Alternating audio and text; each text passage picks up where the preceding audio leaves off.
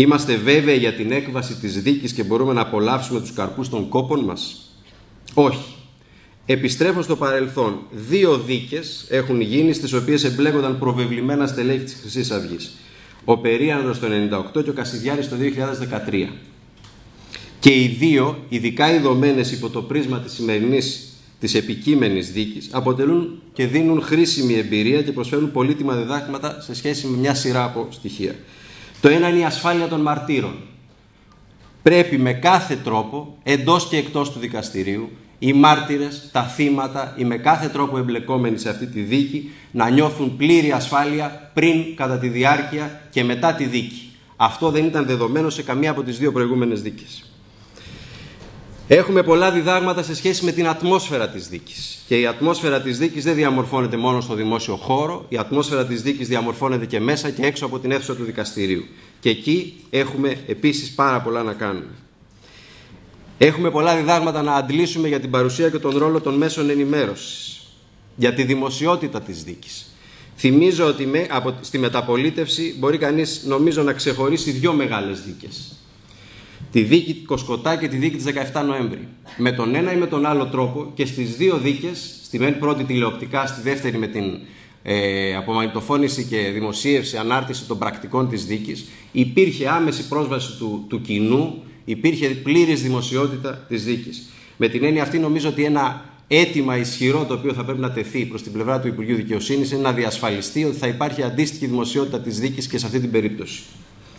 Και βεβαίως έχει πάρα πολύ μεγάλη σημασία, μια που η Ελλάδα τα, τα τελευταία χρόνια για δύο λόγους βρέθηκε στα φώτα των διεθνών μέσων ενημέρωσης, ο ένας ήταν το δημοσιονομικό και ο άλλος ήταν η ναζιστική βία και η ρατσιστική βία, πρέπει να έχουμε διαρκώς διεθνείς παρατηρητές στη δίκη. Πώς ήρθαν τα πράγματα εδώ, πώς φτάσαμε τις παραμονές της δίκης. Νομίζω πως είναι συνέργεια πολλών και μέσα ενημέρωσης και δημοσιογράφοι, ο Δημήτρης ο Ψαράς και ο Ιός έχουν εξέχουσα θέση σε αυτό και οργανώσεις και κινήσεις πολιτών και δικηγόροι θυμάτων και πολιτικοί φορείς.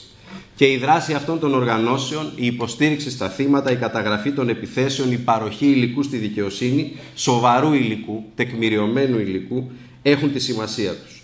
Και θεωρώ ότι έχει πάρα πολύ μεγάλη σημασία, ειδικά μέσα σε ένα κλίμα ε, έντασης αλλά και η τοπάθειας που πολλές φορές μας πιάνει να τονίζουμε διαρκώς τη σημασία όσων έχουν γίνει. Πολλοί και σε αυτήν εδώ την αίθουσα δικαιούνται να είναι περήφανοι.